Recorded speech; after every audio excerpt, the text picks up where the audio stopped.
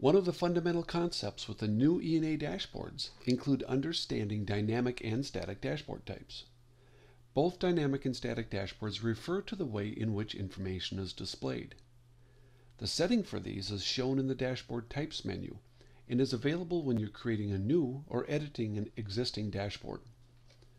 Dynamic dashboards are context specific, where the contents will reflect the current context that you have selected in the Explorer.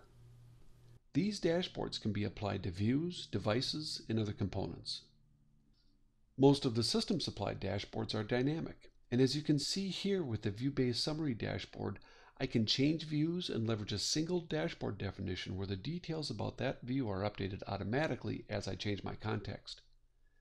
Also in this example, I can select the ports dashboard, and I can change context from one of my devices to another, and the dashboard updates accordingly. Static dashboards are not context specific and will only be visible if you're focused on the My Network view.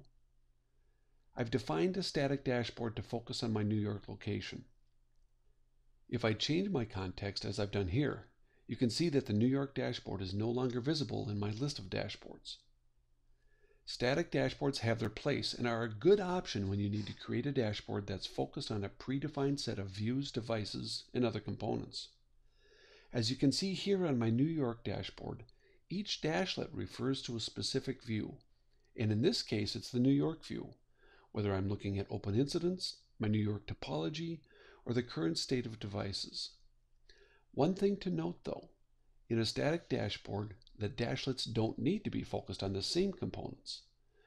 They can be different as you see here where I'm focused on my East Coast region.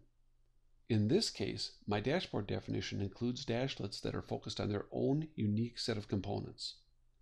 Here I'm looking at all the incidents in my East Coast region. This is a view.